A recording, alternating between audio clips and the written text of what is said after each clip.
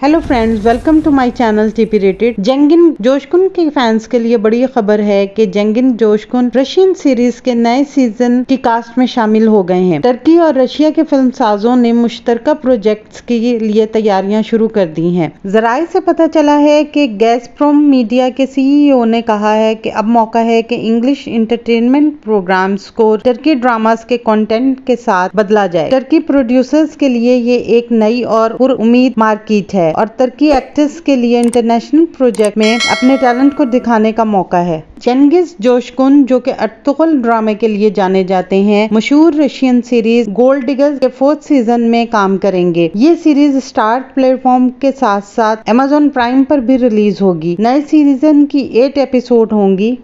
इस सीरीज़ की shooting Saint Petersburg में जारी है। इस सीरीज़ की कहानी थर्ड सीज़न के अख्ताम के चंद साल बाद से शुरू होगी। लमारा सोगुमानिया इस शो को डायरेक्ट कर रही हैं। जंगिस जोशकुन इस सीरीज़ में एक बिजनेसमैन और एक हमदर्द इंसान का किरदार अदा करेंगे। जंगिस जोशकुन का ये पहला इंटरनेशनल प्रोजेक्ट है। इनका कहना है की मुझे कहानी पसंद आई और मुझे लगा की मुझे इस सीरीज़ में काम करना चाहिए, क्यूँकी इसका किरदार मेरे पिछले कामों से मुख्तलिफ़ है। ऐसा नज़र आ रहा है कि, तुर्की और रशिया के ताउन से हमें और भी सीरीज़ को देखने का मौका मिलेगा। आने वाले दिनों में अपने पसंदीदा ड्रामों की मजीद मालूम के लिए हमारे चैनल को लाइक करें शेयर करें और सब्सक्राइब करना ना भूलें।